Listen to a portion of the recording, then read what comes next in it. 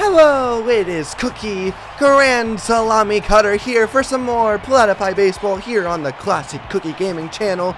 And we have a good one today. The Platypi, or Platypi, versus the division rival Wide Loads. And first things first, let's take a quick little peek at our lineups. For the visiting wide loads, we have playing shortstop and batting first, Masha Donga. Batting second and playing first, is Darcy Hicks. Harmony Strauss is behind the dish and batting third today. Hack Liner, manning the hot corner over at third, is batting in the cleanup spot. Wade Hobbs is batting fifth, and he is over in left field. Fungo Akira is patrolling center field today and batting uh, sixth. Batting seventh is Izzy Baker. Izzy's over there at second base. Hardy Zamora batting eighth and playing right field. And Holder Close is going to be the starting pitcher today. And he features a four seam fastball, two seam fastball, curveball, and slider. Now, on to your Platypi.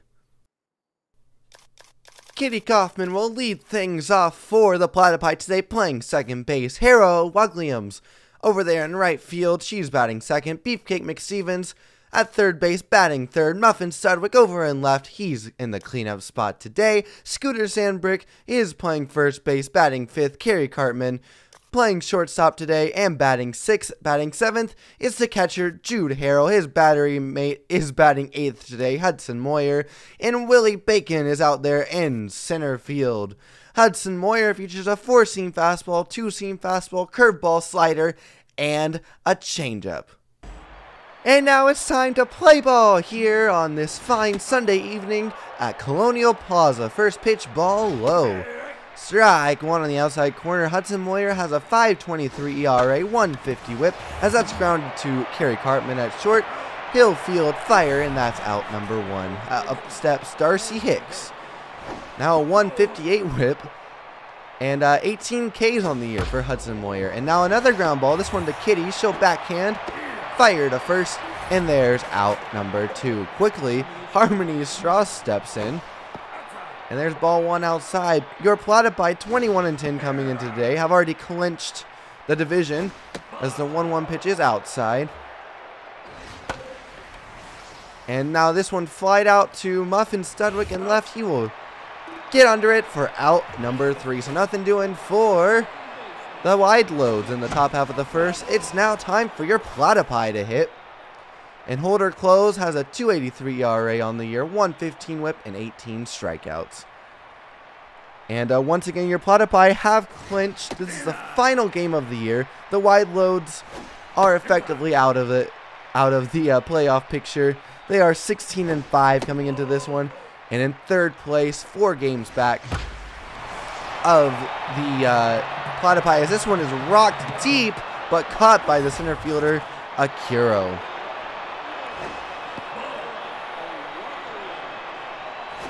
They were four games back of the division of the uh, division leaders, the Platypi, and two games back of the second place team. As that's now hit down the line, and that's fair.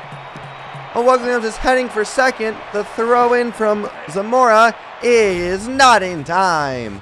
So a, a one out double for Harold O'Wugliams, and that'll bring up Beefcake McStevens here with one out. And now that's grounded up. Oh, not up the middle.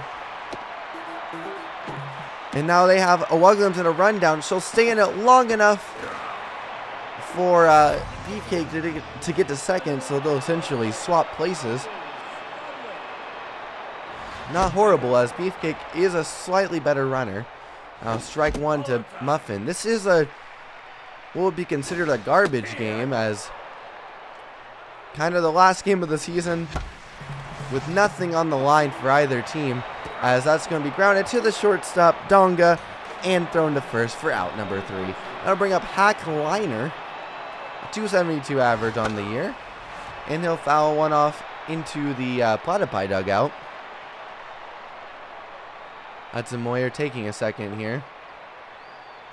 They'll fire in a curve, and it's going to be hit into foul territory. Muffin is going to watch that one fly into the stands for strike two. The 0 2 check to swing there. Ball one. Ball two inside. And there's strike three. Chisel him out of a block of ice. He's frozen. That'll bring up bring up Wade Hobbs. And Moyer will spit there and fire and strike. 190 mile an hour four seamer it looked like. Now that's grounded up the middle just past the outstretched glove of uh, Kerry Cartman. And that'll be in for a single here in the top of the second. Fungo Akira will step in. He's patrolling center field today.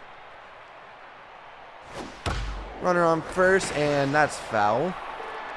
Might see a lot of substitutes today. That's strike two. Once again, garbage game, nothing on the line, and a few off days before the playoffs actually begin. And now that's hit weakly over to the right side. And Kitty's going to go to second. May have thought she did not have a play on that one as uh, Sandbrick tried to go for it as well. Hudson Moyer was looking like it would be pretty close. And we're going to take a look at look at replay on that. So here we go, and uh, yep, as you can see, fielded, but uh, yep, would have had plenty of time there. Don't know why Kitty went to second, but that's a single up the middle. Willie Bacon will barehand it, fire home, and it's not in time. So the mental mistake by Kitty Kaufman will cost a run. Well, may have been a run anyways, but now we have runners at first and second again with just one out. Strike one on a good changeup.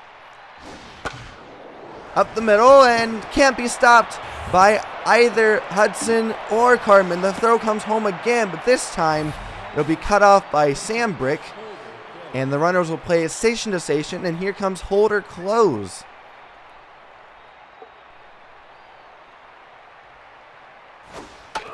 And that's a foul ball down the first base side. The 0-1 is a ball low. Bases juice for the opposing pitcher. That's a ground ball to Sandberg, but just curled foul. The 1-2 just off the outside corner. 2 and 2. Whack back foul. Close is putting up a good battle here. That'll miss low ball three. The three and two pitch. Oh my goodness. He just walked the pitcher with the bases loaded. It's now 2 0 for Masha Donga, who's 0 for 1 on the day. 2 0 wide lows now. RBI to the pitcher. And that's a strike. Still just one out. The 0-1 pitch, strike two. The payoff is low, ball one. Once again, the payoff. Whacked the other way foul, where a first base coach would be. The 1-2 once more, and that's going to get by him. That's going to get by Harrell. And way late is the throw. Could not get to that one even remotely quickly. Now, and now another one's going to get past him. But what a play at the plate. What a play from Jer from Jude Harrell to the pitcher Hudson Moyer covering there. Great tag. And we have two outs. Well, uh, let's see. The the batter is walked. That was Donga. Now runners at first and second. Three nothing wide loads after that walk. Or sorry, after that uh, uh, wild pitch. And now the 2-0 to Darcy Hicks and risking loading the bases again, and that's exactly what he'll do here. And uh, Harmony Strauss will step in 0-1, or 0 for 1. And uh, she'll take strike one here with two outs in the top of the second inning. Wild inning, and that's grounded straight to Cartman. He'll field, fire, and got her for out number three. So three runs come home to score for the wide loads. And then now Scooter Sandberg will lead things off, and holy cow, did he send that one a long way. But to the warning track, Akira makes the grab for out number one. Now that's up the middle, base hit for, uh, let's see. I believe that was Beefcake McStevens. Oh no, I would be mistaken. That was Kerry Cartman. And now Harrell gets just gets this one just in. Sorry, my struggling for words. Runners are going to be at first and second now with one out. Moyer is in the batter's box, but he is taking a second here.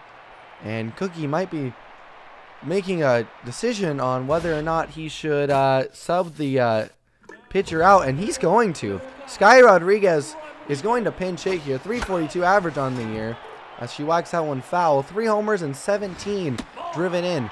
She'll look at that one, ball one high. The one and one with one out. And that's ripped out the middle. Off the glove of the diving shortstop, Donga. All the way home comes Kerry Cartman. It's a 3 to 1 ball game. For Willie Bacon in the nine hole today. One out, runners at first and second again. Strike one. Way ahead of that change.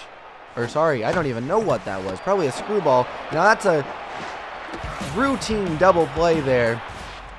Five, four, three, and that'll send things uh, into the third. A new pitcher, it's going to be Rufus Zumar. He has a 5.32 ERA. That's lined into right center field. That'll split the alley. Owuggins will field fired in, and that's a leadoff double.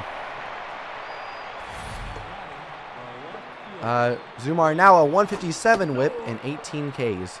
He features a four-seamer, two-seamer, forkball, curve, and slider. And now the 1-1 pitch to Wade Hobbs. Wide loads uh, left fielder. Now that's grounded past the diving beefcake. Muffin will get it in quickly, however. And runners will be at the corners with nobody out for Fungo Akira. Akiro, my apologies. And he'll spit on that 0-1 curve. And whack back that one foul. The 1-2 pitch. Foul again. Here comes the payoff once more. And that'll miss outside. 2 and 2. And just missed it, that curve. They're going to go upstairs, it looks like. And, oh, just missed inside. Was not where Jude Harrell put that target, but it's where it ended up. Now bases juiced with nobody out. Izzy Baker up. He'll take strike one. A one and one count now. Now that's a weak little pop just past Scooter. That one had some carry to it at the end. The payoff to him. Swung on and missed. Strike three. Huge K there for Rufus. Oh, but it's all for naught as that's going to be lined into center field. One run will score. They're going to wave home on second one. It's 5 to 1. Wide loads. A 2 RBI single for Hardy Zamora, and that'll bring up Holder Close again, who will fire in ball one. Or sorry, Rufus will fire in ball one to Holder Close, trying to lay down a bunt, and that's three straight balls. Rufus really trying to focus here. He's taking a second. Defense has shifted to a bunt defense, and now he'll get that bunt down. Right back to the pitcher, but just soft enough to get the job done. And there's out number two. So Masha up here, 2-0 quickly to her. She's got, her team's got a four-run lead now. And there's a strike just dropping in with the forkball. The 2-2. Down in the dirt. Good stop by Harrell. The 3-2 pitch. Popped up. Right field. Hera waves off Bacon, and she's got it for out number three, but not before a couple runs come in to score. It's now 5 to 1 wide loads. And Kitty Kaufman, Sam stepping up to the plate here. One and one count to her now. Definitely a, a speed demon. Could uh, get the Platypi back into this one, but not with that. As that's going to be back picked and thrown to first for out number one. And that's line past the second baseman, uh, Baker, sorry. Baker, Izzy Baker. And that's a base hit for Hera Owugliams, who now it looks like is going to get subbed out. And yes, it'll be Linda Hand going into pinch run. And that's hit right on a shot to Donga. And she's going to trap it, fired a second, dropped by Izzy Baker. And so they'll still get the out at second, but Beefcake will be safe at first. Well safe, in fact. And now that's popped up on the infield by Muffin Studwick, and that'll end the inning. So the error doesn't come back to bite the uh, wide loads here in the bottom of the third. We head to the top of the fourth. Linda Hand now playing right field where Hera was. Now that's hit popped way back there. Bacon on the track and will make the grab for out number one. Up steps Strauss, and great diving stop by Scooter Sambrick, and there's out number two. Now with two outs, nobody on is Hack Liner. Much better inning thus far for Rufus than last one. And now one and two count. The payoff pitch just missed outside with a what appeared to be a slider. The 2-2 swung through the fork ball for out number three. So nothing doing one, two, three. Go the wide loads in the top of the fourth. Here to lead things off in the bottom half of the fourth inning is Scooter Sambrick. He'll hit a weak little pop-up well foul. And now that's a grounder to Donga. Schofield fire to first, and there's out number one. Kerry Cartman will step up. He got a hit in his last at bat. Also scored the lone Platypi run. And now that's grounded to Donga again. And there's out number two. And now it appears we may have a substitution. And Cookie, the Platypi manager, will actually elect to not substitute Jude Harrell out. So he'll fall down, or even the count, I guess, one and one. And now that's whack back foul. The payoff from Holder Close is launched deep into left center field. That ball's going back, back, high off the wall above the Banco sign. Jude Harrell will glide into second base with a two-out double. Up steps Rufus Zumar. We'll see if they decide to keep him in, and they will, and he'll pop in into center field. And under it is Akiro, and he'll grab it for out number three. But not before, well, not much of anything, just a two-out double. And uh, we're going to have another substitution here. And oh, chocolate chips, have we got a doozy of a substitution for you. If you're keeping score at home, you're going to have a messy sheet after this one, but it is a garbage game. Quickly, a base hit up the middle to the new center fielder, Linda Hand, and I'll explain that in just a moment. And holy moly, Linda Hand will be batting second now, where Harold Williams is, or was, as that was mentioned before. As that's a great double play. No! Into the into the dugout for the Platypi. So one out, runner on second. Linda Hand subbed in earlier, but she's actually moving over as that's grounded into right field. Harold, who's now in right field, will fire it in, but it's not in time. Up steps Hardy Zamora. Uh, is now in center field. Tugboat Thomas is now batting ninth instead of Willie Bacon. He was substituting in as that's going to be a stolen base. Thomas is now playing first. Chase Tabule is now catching. And uh, he'll be batting in the fifth spot where Scooter Sandbrake was. That's just past the diving glove of Kaufman, and they're not going to test Jude Harrell this time. Rory Crowd is going to come in for Muffin Studwick and play in left field, and I believe we have all of them. The defense shifting around alignments.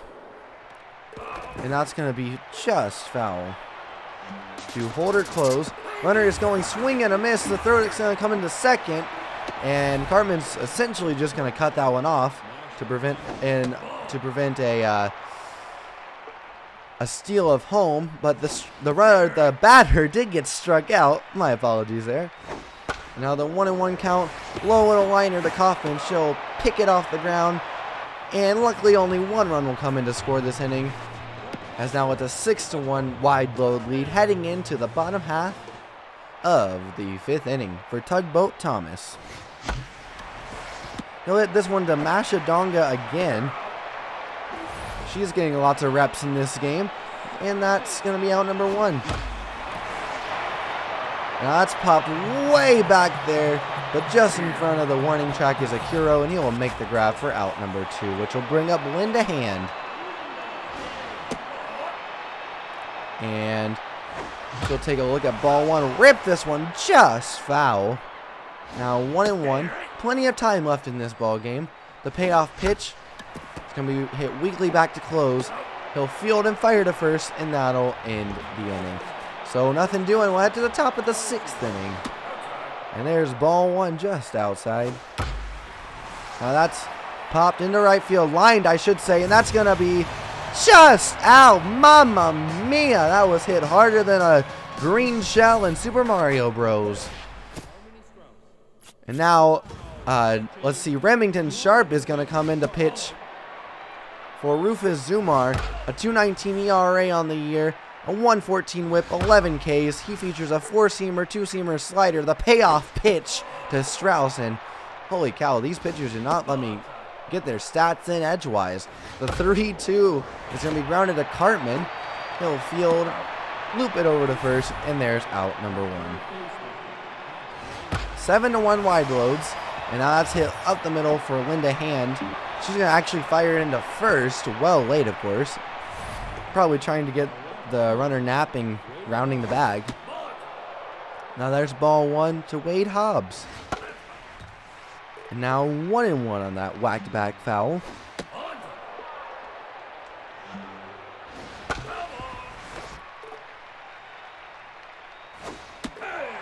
And swung on him, is strike three. There's Remington's first K of the day. 12th of the season, and there's strike one to Fungo, who will whack that one foul. 0 and 2. Now that's line just past the diving Kaufman. And there'll be runners at first and third now. With two outs, Izzy Baker will step in. Number seven hitter.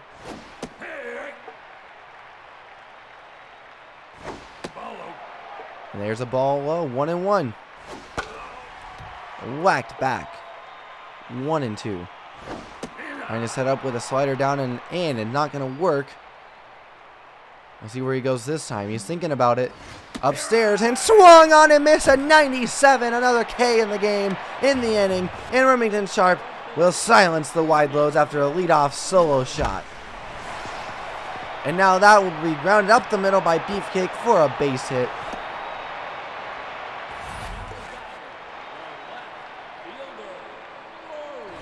And Rory Crouch will get his first at-bat of the day. Remember, he came in as that's a stolen base attempt, but it would get fouled off. He came in for uh, Muffin Studwick. No try there by Beefcake, and it's one and two. The payoff is going to be popped way up in the infield. Masha Donga is under this one, and she'll make the grab for out number one. Here comes Chase Tabule, his first at bat in this one as well.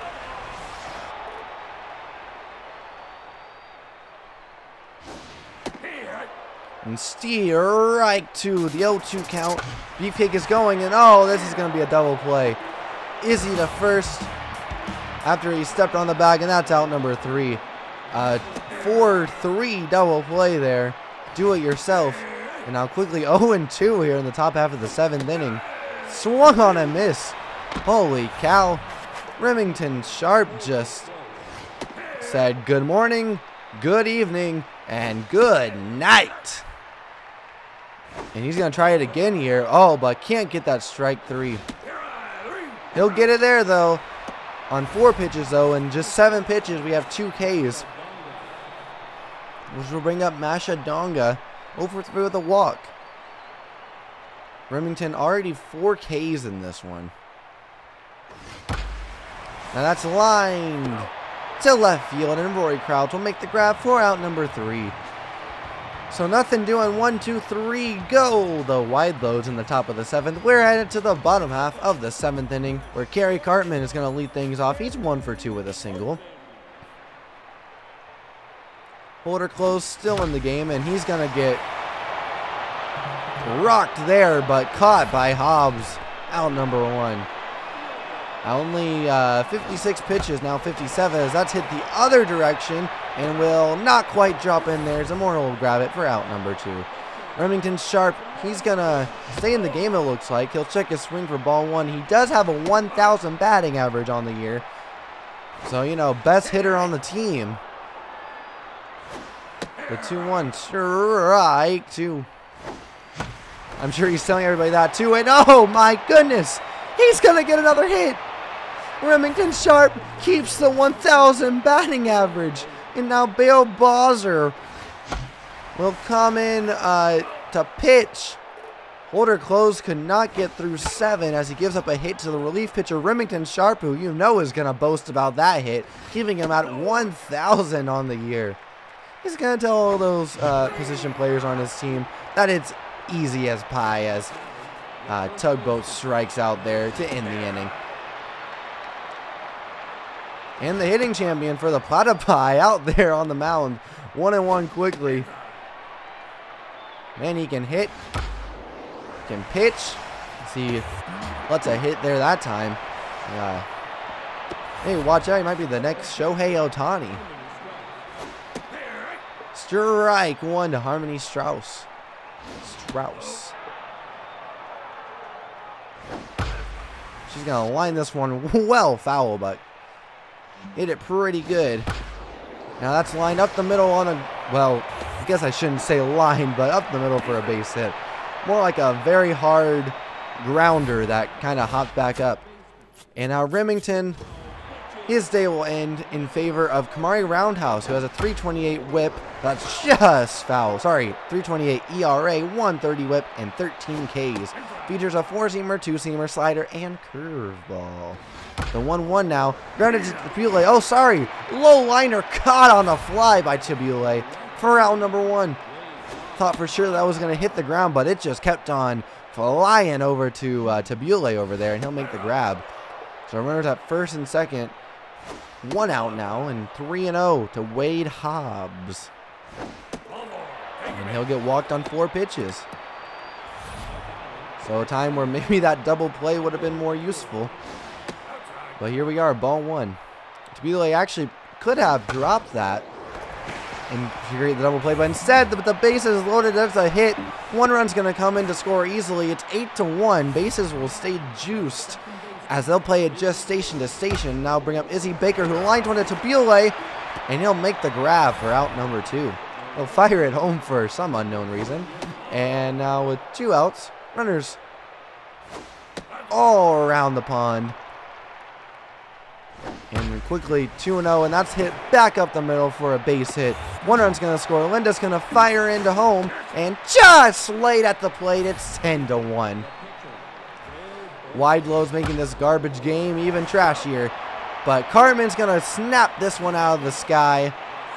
Four out, number three. Not before a few runs come, come home to score. 10 to 1. And now, great play over there by um, by uh, Darcy Hicks. That swung on a miss by Linda Hand for strike one. She'll hit a little looper foul. And now that's going to be a little looper in for a base hit. She couldn't quite make solid contact, but solid enough to get a hit on that one. Now bring up Beefcake McStevens. Do whatever you can here. Bloop and a blast. The old adage. Unfortunately for the Platypi, they'll need much more than a bloop and a blast, but that'll help matters if that's a base hit for Beefcake, and will bring up Rory Crowd with runners at first and second and one out. RBI chance for him. He's going to hit that foul. Not too many chances on, for him on the year, mostly a pinch hitter. The 0-2 to him. It's going to be grounded foul. And runners are going. It was a perfectly executed double steal. And Rory will ground out, but both runners will be able to advance safely. Runners at second and third now with two outs. A heck of a, steal. They would have probably both been safe.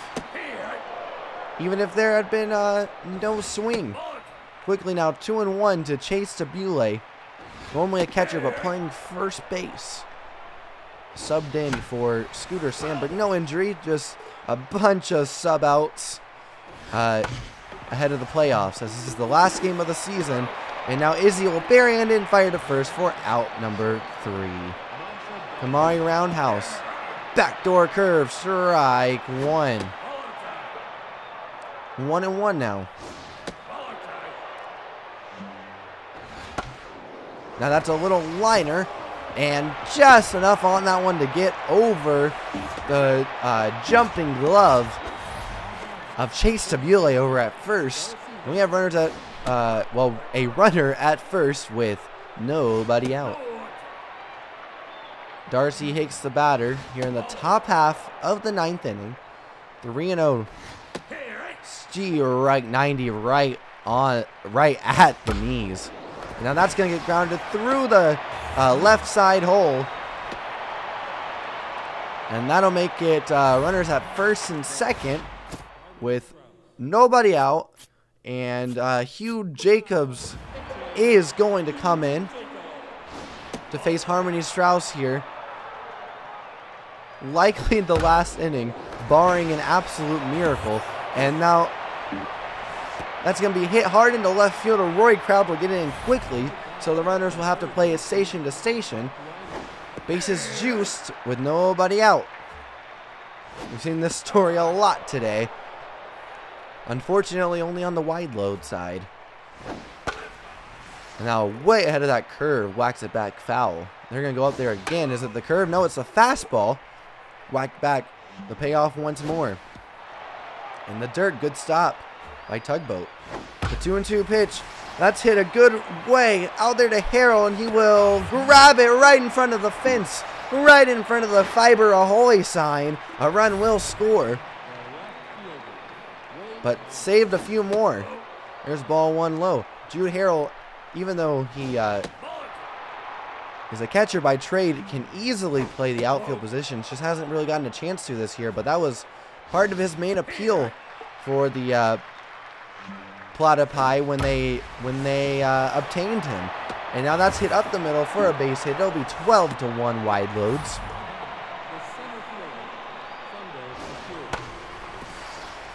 And now a, line drive not hit super hard, and Linda Hand will make the grab, only having to make a few steps to her southwest. And there's ball one low and outside. 2 0 now to Izzy Baker. Made a great play last inning, and now that's a liner scream shot right into the glove of Jude Harrell to end the top half of the inning. We head now to the bottom of the ninth. Leading things off is Kerry Cartman. Let's get some base runners. Make this thing interesting. Why not? Last game of the year, 11 run deficit. 2 0, 3 0 now to Kerry Cartman. You're Bale Bowser in the Wideloads. You're thinking, why and now uh, with a walk, now you're thinking, why did you just walk the leadoff hitter in an 11 with an 11 run lead? And there's strike just catching the corner. I think the uh, home plate umpire wants to get home a little early. After that walk, thought he would. Now that's hit. Oh, tried the double steal. Oh, he's going to miss the tag. He's going to miss the tag out at first still but the hit and run will still work. He hit it just shallow enough. Hugh Jacobs is going to have to stay in the game to hit here, and he'll pop one up. Nobody left on the bench. So Hugh Jacobs will have to hit, and he'll pop out here to Akira for out number two. Still can't over, get over the fact that Izzy missed that tag. Just a weak enough hit as that one goes foul to draw him uh, to draw him too far away from the runner. Now it's hit the other way and caught on a dive by Darcy Hicks. Unfortunately, your Platypi are the losers today. The Bucks scored 12 runs, 21 hits, and no errors for the Wideloads. And your Platypi, just one run on 10 hits and two errors. The winning pitcher is Holder Close. He went six and two thirds innings, scattered eight hits, one earned run given up, and that was a heel improved to one and two. Hudson Moyer went just two innings, scattering four hits, walked three batters, gave up two earned runs, and went and struck out just one batter on the day. And unfortunately, the players of the game all Wideloads. Hardy Zamora went 4 for 5 with 4 RBIs and a stolen base. Darcy Hicks at number 2 went 3 for 5 with a homer, RBI, 3 runs scored. And Wade Hobbs went 4 for 5 with an RBI and 3 runs scored. And that'll do it here tonight. Unfortunately, your platypi do fall. However, join us next week for some thrilling playoff baseball under the lights, our first matchup. We'll find out who we're playing in the playoffs next week. Despite the outcome, I hope you enjoyed this lovely edition of Sunday Night Baseball here at Colonial Plaza on the Classic Cookie Gaming channel. And until next time, head outside to play some amazing games. I'll see you next week. This is Cookie Cutter signing off.